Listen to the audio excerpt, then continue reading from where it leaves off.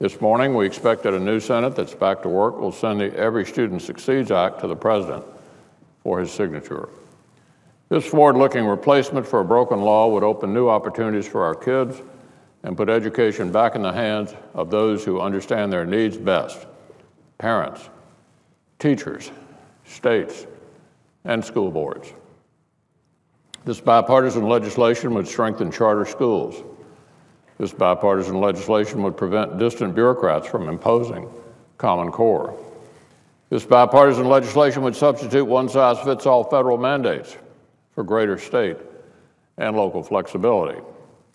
In short, it's conservative reform designed to help students succeed instead of helping Washington grow. It's a significant achievement for our country. But while we pat ourselves on the back for passing this legislation, we shouldn't forget that we could have done this a long time ago. It was not long after the bill passed that we knew it was full of flaws. And we tried valiantly to change it for a number of years.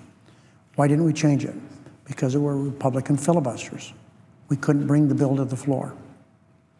In fact, nearly every major bipartisan bill we've passed this year could become law in years past if Republicans had not blocked them, obstructed them, filibustered them.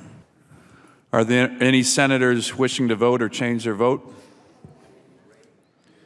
If not, the yeas are 85, the nays are 12. The conference report is adopted. Senator from Tennessee. Mr. President, today the United States Senate, by a vote of 85 to 12, has sent a Christmas present to uh, 50 million children across this country. First, it has to go down Pennsylvania Avenue to the White House, where we hope President Obama will wrap a big red bow around it, sign it, and send it to the children and the 3.4 million teachers who are looking forward to it.